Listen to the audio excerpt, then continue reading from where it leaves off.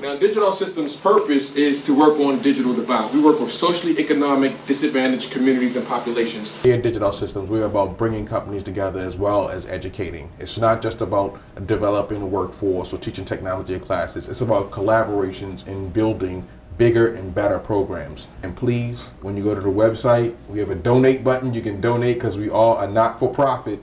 If it's a dollar or five dollars, help us build a better Baltimore.